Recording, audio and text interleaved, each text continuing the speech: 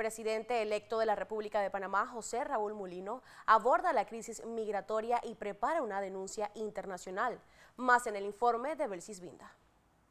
En un contundente mensaje, José Raúl Mulino, presidente electo de Panamá, destacó el enorme sacrificio que el país está haciendo para resolver una crisis migratoria que, aunque inicialmente ajena, ahora afecta profundamente al territorio panameño. Agregó que el día lunes, en una reunión bilateral, tratará el tema de los migrantes en la selva del Darién con la alta jerarquía designada por el gobierno de Estados Unidos.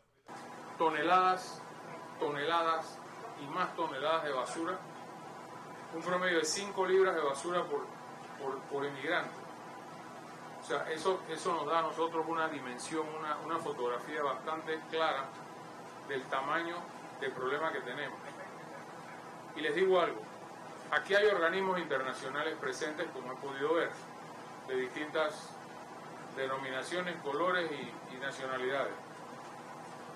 Pero nuestro país, y acabo de pedir eso, va a llevar una voz alta y clara al mundo a través de las Naciones Unidas en mi discurso de septiembre.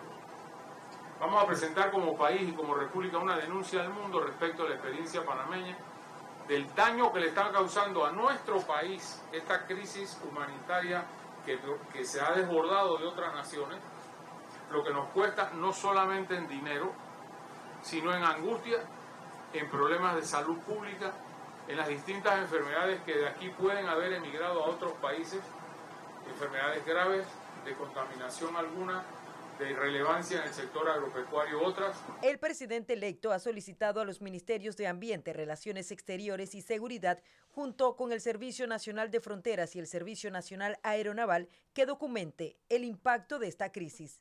Le he pedido a los ministerios de Ambiente, Relaciones Exteriores y el Ministerio de Seguridad que junto con el Servicio Nacional de Fronteras y Senan levanten un caso, documenten un caso que me sirva a mí como presidente de la República poner una denuncia internacional sobre el efecto que esto está teniendo en nuestro país. No podemos silentemente permitir que lleguen 10 o que lleguen 10 millones y Panamá no le pasa nada. En términos de dólares, que quizás es la, es la más pequeña de las de los daños, esto ronda los 100 millones de dólares de nuestro erario público. Pero reitero, ese quizás viendo lo que he podido ver y que me falta todavía por ver, es el más pequeño de los rubros. Aquí hay un costo humano que no tiene precio. Mulino dijo estar impactado por el trastorno social y emocional que causa esta realidad en las personas migrantes. Agregó que nadie puede pedirle a Panamá tolerancia y mucho menos encontrar paliativos. Con cámara de Cristian Setur, Belsisbinda, Next Noticias.